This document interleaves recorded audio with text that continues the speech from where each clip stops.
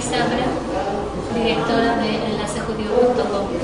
Enlace Judío ha estado eh, siguiendo el tema del de Roberto Bosques. Sí, por supuesto, tenemos una sección especial donde recordamos a Gilberto Bosques y tenemos entrevistas de gente que, que él sabe. ¿Cómo debemos recordar a Gilberto Bosques? ¿Cuál sería un buen- una buena forma de, de recordar a este personaje? Mira, en la tradición judía se dice que quien salva una vida salva al mundo entero. Y en este caso Gilberto habría salvado a muchos mundos. Por otra parte, eh, hay una, una narración en la Biblia donde se dice que donde Abraham está negociando con Dios la, sal- la salvación de la ciudad de Sodoma, porque Dios la quería destruir. Entonces eh, Dios le dice que si hay 50 justos, 50 personas buenas, de buen corazón, no la destruyen. Y checan y no hay, y 40 y no hay, y 10 justos no hay. Entonces para nosotros Gilberto Bosques es un justo, porque gracias a su compasión y su bondad, y por eh, su lema que era salvar vidas y más vidas, él pudo hacer que varias personas, varios judíos, centenas de judíos y de otras, de otras religiones o nacionalidades lleguen a México o salven la vida o salgan de los campos de concentración y puedan moverse. Entonces eh, le debemos la presencia en México de muchas personas eh, que son muy importantes para nuestro país, que han enriquecido nuestro país, Frederick Katz y Andrés Roemer.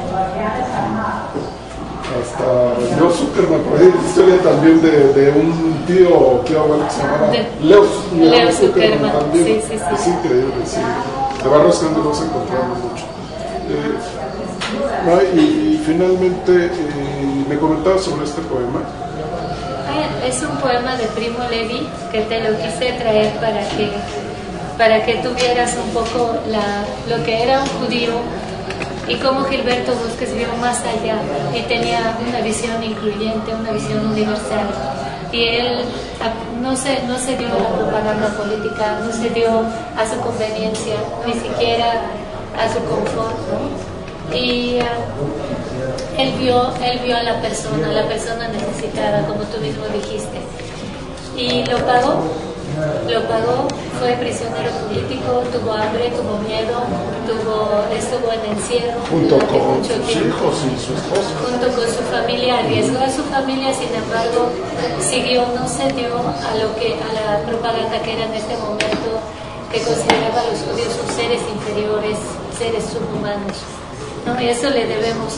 Entonces la- el poema se llama Si esto es un nombre de Primo Dice, los que vivís seguros en vuestras casas caldeadas, los que os encontráis al volver por la tarde la comida caliente y los rostros amigos, considerad si es un hombre quien trabaja en el fango, quien no conoce la paz, quien lucha por la mitad de un panecillo, quien muere por un sí o por un no.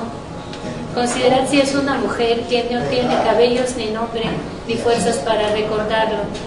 Vacía la mirada y frío el regazo como una rana invernal.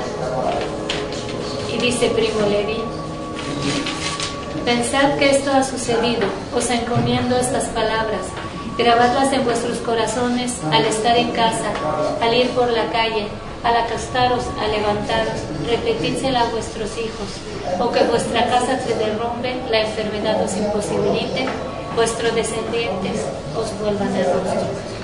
Entonces, este fue el judío de esta terrible época, un ser eh, infrahumano, un ser que fue perseguido como rata y fue, que fue exterminada como tal, pero no para Gilberto Bosques. Y por eso, sea bendito por siempre. Muchas gracias. Gracias.